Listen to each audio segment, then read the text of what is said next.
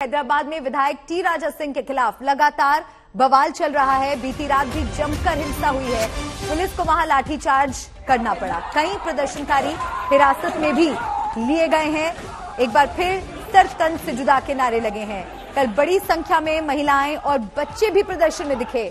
बच्चों को प्रदर्शन में शामिल किए जाने को लेकर एनसीपीसीआर ने नाराज़गी जताई है। बेकाबू प्रदर्शनकारियों पर पुलिस का लाठीचार्ज भी हुआ है। प्रदर्शन में बच्चों को शामिल करने पर एनसीपीसीआर ने नाराज़गी ज़ाहिर की है। तो ये बड़ी खबर आपको बता रहे हैं। एनसीपीसीआर ने पुलिस से पूरे मामले में अपील कर रहे हैं कि तशद शहर में तेलंगाना में ना हो। अगर तशद नहीं होगा तो बीजेपी और आरएसएस की इसमें नाकामी होगी। अगर तशद्दुद होगा तो खुदा न खास्ता कामयाब हो जाएँगे। तशद्दुद को नहीं होना चाहिए। एहतजाज ज़रूरी है।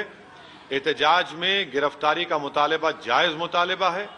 मगर एहतजाज में तशद को उकसाने की बातें हरगिज मत करिए और बीजेपी और संघ परिवार को नाकाम करिए। हम हुकूमत तेलंगाना से और पुलिस से इस बात का मुतालबा करते हैं कि दोबारा इस एमएलए की गिरफ्तारी अमल में लाई जाए और उसको जेल भिजाया जाए और एक स्ट्रांग केस उनके ऊपर बनना चाहिए, क्योंकि ये हमेशा से, हर वक्त अपने वीडियो, अपने अकाउंट से जारी करके इस्लाम, रसूलुल्लाह सल्लल्लाहु अलैहि वसल्लम और इस्लाम में जो मोजेज शख्सियतें हैं, जो बुजुर्गान दीन हैं अलिया अल्लाह हैं, उनके खिलाफ गंदगी बकते हैं।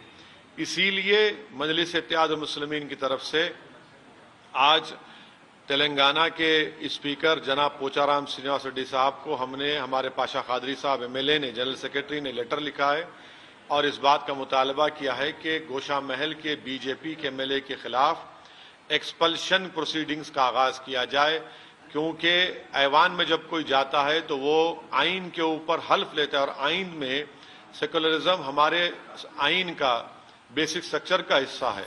हमने जना स्पीकर साहब को ये बात याद दिलाई है जो उनको भी मालूम होगी कि आइन के आर्टिकल 194 के तहत असम्बली को और स्पीकर को इख्तियार हासिल है कि जब कोई मेंबर वायलेशन करता है प्रिविलेज का और कंटेम का तो ऐवान को स्पीकर साहब को इख्तियार हासिल है कि उसको एक्सपल करें और हम ये उम्मीद करते हैं कि स्पीकर साहब एक्सपल्शन की प्रोसीडिंग्स का आगाज़ करेंगे। ऐवान के रूल ऑफ़ बिज़नेस के तहत और हमने स्पीकर साहब की इतला के लिए सुप्रीम कोर्ट के दो जजमेंट्स का भी उसमें हवाला दिया।